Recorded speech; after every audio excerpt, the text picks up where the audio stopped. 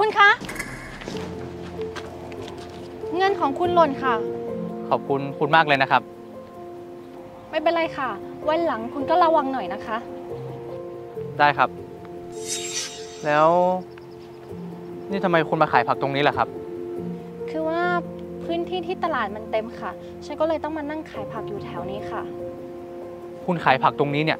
คุณต้องระมัดระวังเรื่องความปลอดภัยด้วยนะครับ ได้ค่ะ ขอบคุณมากเลยนะคะ 1,000 บาทนี้ผมให้คุณครับ ไม่เป็นไรค่ะคุณ คุณไม่ต้องให้ฉันหรอกค่ะ ไม่เป็นไรหรอกครับ คุณรับไว้เถอะ ถ้าไม่ใช่เพราะคุณเตือนผมแล้วก็เงิน 1,000 บาทเนี่ยมันหายไปจากตัวผมแล้วล่ะครับ คุณรับไว้เถอะ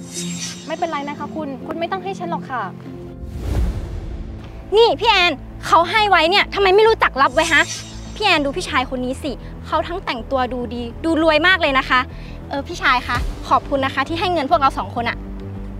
คุณครับ วันนี้นี่น้องสาวของคุณแล้วครับ ใช่ค่ะ งั้นผมขอตัวก่อนนะครับ ได้ค่ะ คุณเดินทางปลอดภัยนะคะ พี่แอนขอเงินหน่อยดิ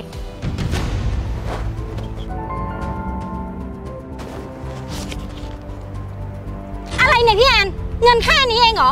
เงินแค่เนี้ยจะไปพอเลี้ยงเหล้าเพื่อนได้ไง เอาเงินมาอีก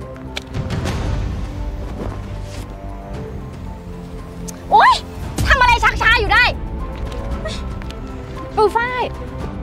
พี่ขายผักวันหนึ่งเนี่ย มันก็ได้เงินไม่กี่บาทเองนะ น้องใช้เงินประหยัดหน่อยสิ โอ๊ย หยุดพูดได้แล้วลำคาญ เหลือให้ 20 พอ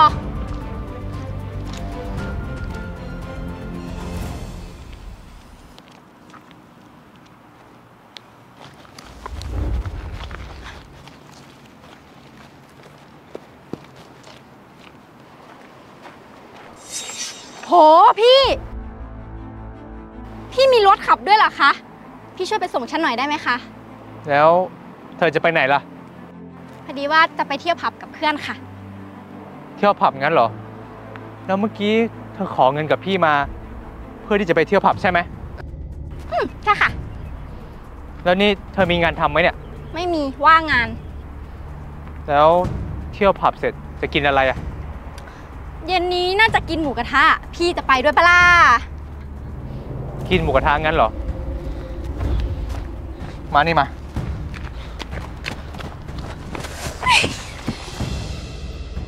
คุณดูพี่สาวคุณสิ เห็นหรือยัง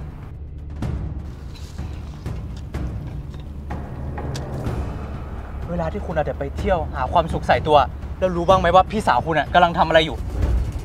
คุณอาจจะกินเหล้าสังสรรค์ กินหรูอยู่ละแล้วรู้บ้างไหมว่าพี่สาวคุณกำลังทำอะไรอยู่อะบนตัวคุณนี่ แต่งตัวสวยมากเลยนะ แต่ดูพี่สาวคุณสิ แต่งตัวมอซอมาขายผักที่นี่ เพื่อที่จะหาเงินให้คุณไปกินไปเที่ยวไปดื่ม ไปแดนหรือไง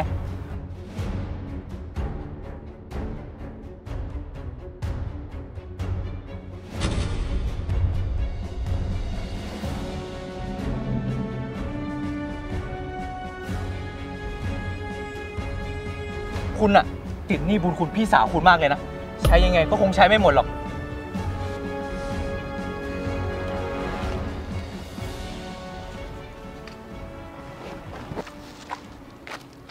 เอาปุ้ยฝ้ายน้องกลับมาทำไมเหรอ พี่แอนหนูไม่ไปเที่ยวแล้วนะ ถ้าวันนี้เราขายผักเสร็จแล้วเรากลับบ้านกันค่ะ เดี๋ยวมื้อนี้หนูทำกับข้าวให้พี่กินเอง ไม่เป็นไรหรอกปุ้ยฝ้ายน้องไปเที่ยวเถอะ พี่ขายผักคนเดียวได้ ไม่เป็นไรค่ะพี่แอน เดี๋ยวหนูช่วยขายนะคะ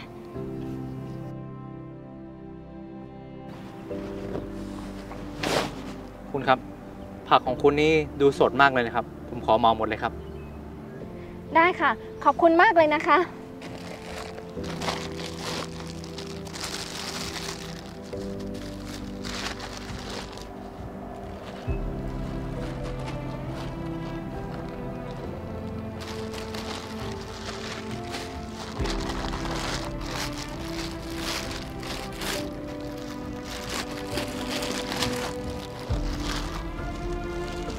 นี่ค่ะ 100 บาทพอดีเลยค่ะ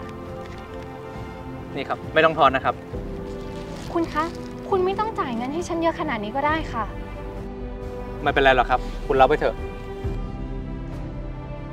เออคุณครับ ข้างหน้านี้เป็นบริษัทของผมนะครับ ต่อไปคุณก็ไม่ต้องมาขายผักอยู่ตรงนี้แล้วนะครับ